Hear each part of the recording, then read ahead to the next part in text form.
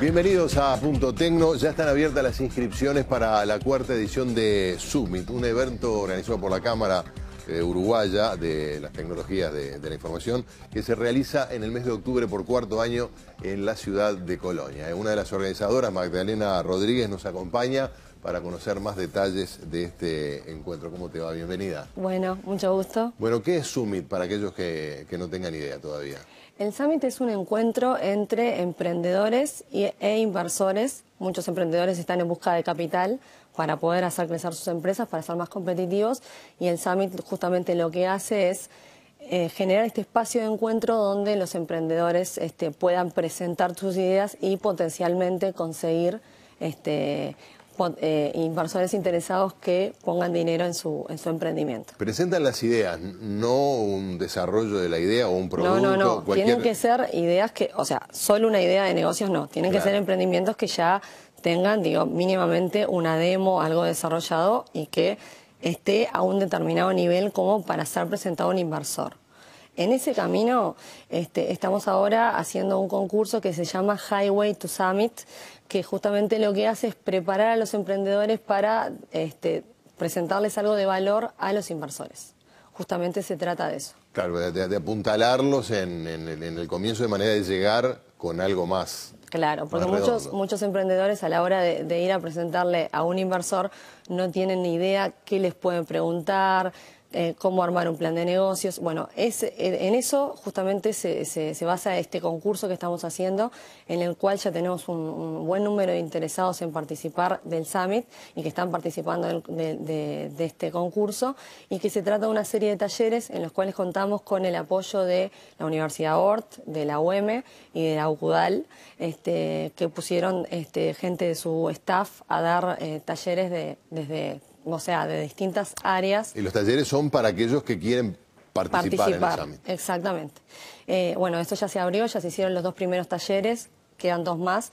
Y bueno, además, quienes quieran participar se pueden postular. O sea, esto es para, este, esta instancia era para preparar a quienes no estaban preparados. Pero si hay alguien con un emprendimiento de tecnología de la información, porque obviamente Sí, es para, claro. está cerrado a eso, este, y quiere presentarse al Summit, hay lugar, lo que hay que hacer es presentar una idea, eso va a un comité seleccionador que va a definir qué este, emprendimientos están realmente preparados para empezar un proceso de Y- Y, inversión. los que hacen el- esta, esta especie de taller, ¿llegan de aquí a octubre con, con- con el producto desarrollado como para Y bueno, a los inversores? la idea es que sí, justamente no van a ir todos los que están participando del, de, este, de este concurso, justamente por eso es un concurso donde se gana la plaza para participar Claro. del Summit. En ese, en ese camino quedará bastante Y gente se afuera. puede presentar distintos tipos de cosas, este, aplicaciones, eh, Ahí, de, de lo- siempre que sea de tecnología de, la información, de lo que sea. de servicios, de productos, de software, de aplicaciones para móviles, de juegos,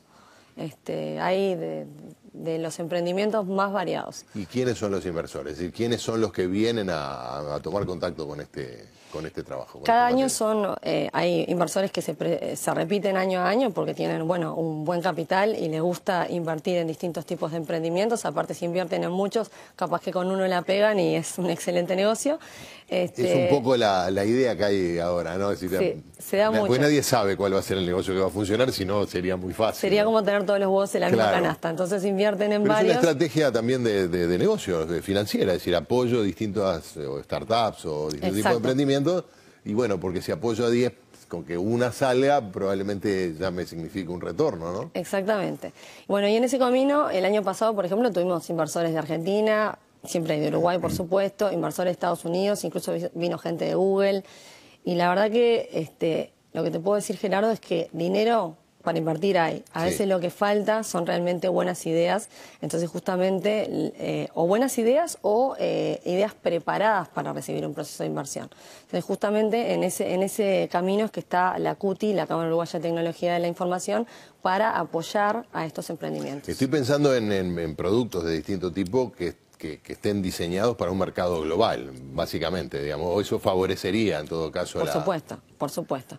Quien piensa obtención de- de- exclusivamente en- el mercado interno, que es un mercado Claro. así, este, probablemente no sea tan interesante a la hora de, de pensar si invierto acá o no. Claro, porque bueno, este uno de los de los últimos, estábamos hablando fuera de cámaras, uno de los últimos hechos que ganó la notoriedad pública y que no tiene que ver con el plan Ceibal, es el del taxi, el, el, el Easy Taxi. Easy Taxi, que bueno, causó un gran revuelo, ¿no? Involucra a la intendencia, a la, patronal, a los trabajadores, paro. Eh, simplemente porque es una aplicación que facilita las cosas a todos, al pasajero y también al taximetrista. Exactamente, yo una vez este bueno, una vez no, más de una vez lo usé y conversando con el taxista me decía, para mí es bárbaro, sé todos los datos de la persona, del pasaje, es más seguro y me genera mucho más cantidad de viajes. Para mí está bárbaro que, existan aplicaciones como esta y que hayan desarrolladores uruguayos que las hagan. No, bueno, porque la referencia, claro, justamente venía que en otras partes del mundo hay aplicaciones similares. Sí, es verdad. O sea que, en definitiva, es el mismo el, mismo concepto, pero en realidad es como todo. Si acá no se inventó, es nuevo. Claro, sí. Creo que todo, todo emprendimiento. O, por eso, o al revés, lo podés inventar acá y luego replicarlo en, en otras en partes, del, parte del mundo donde no esté explotado ese mercado. Bueno, ¿y cuánta gente puede participar, Magdalena?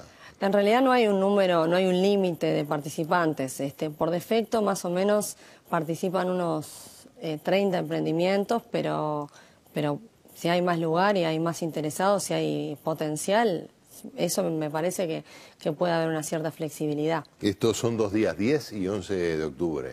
exactamente. En, Colombia. 10 y 11. Colombia, en Colonia. no, en, Colonia, sí. Si no era medio lejos. Si van a Colombia no, no lo van a encontrar. Se hace en Colonia porque justamente es un ambiente descontracturado, donde justamente la idea es que el emprendedor tenga la posibilidad de interactuar con el inversor, comer juntos, además de, presentarle, de tener esa instancia más formal, de presentarle su idea de negocios, si después hay interés, poder seguir la conversación, poder este, tener una instancia uno a uno. Entonces se hace justamente dos días donde hay que tener en cuenta que los inversores, que muchas veces tienen una agenda que arde, toman este, dos días de su, de, su agenda para ir. O sea que son inversores interesados en poner plata en, algo. Y bueno, para inscribirse hay que entrar en, la página de la CUTI. Exactamente. Hay que, hay que entrar en la página de CUTI y hay que este, bueno, llenar eh, el formulario que te va a preguntar básicamente cuál es tu, tu, emprendimiento.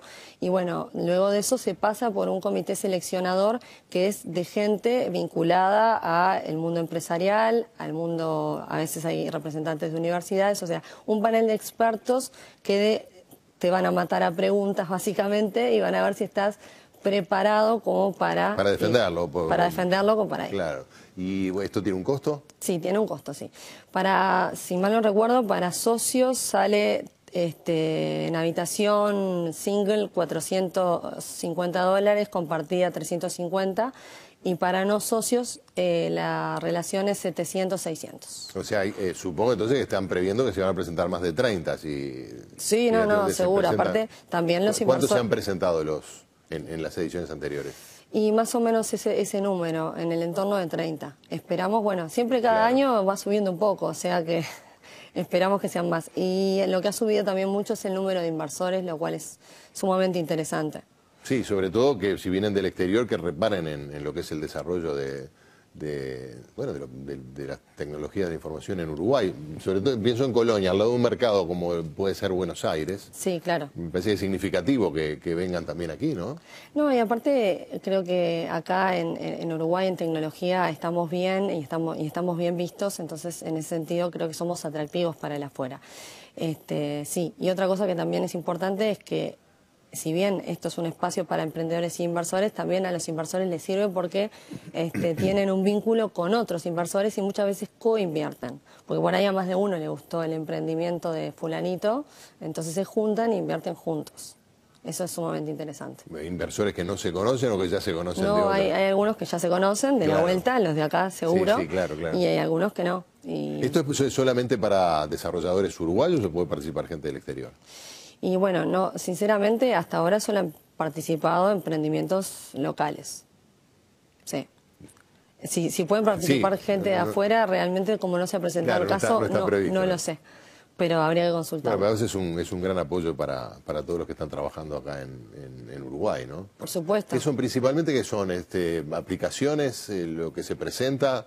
De todo tipo, como yo te digo, desde videojuegos hasta no sé, el desarrollo de un sistema, un software eh, de gestión para, no sé, hay la variedad más grande que pueda haber dentro del rubro que es tecnologías de la información. Bueno, muy bien. Gracias por acompañarnos, Magdalena, y vamos a, seguirlo de cerca, a ver cómo, cómo va evolucionando y luego por cómo supuesto, se desarrolla. Por ¿eh? supuesto. Bueno, muchas gracias por la invitación. Muchas gracias.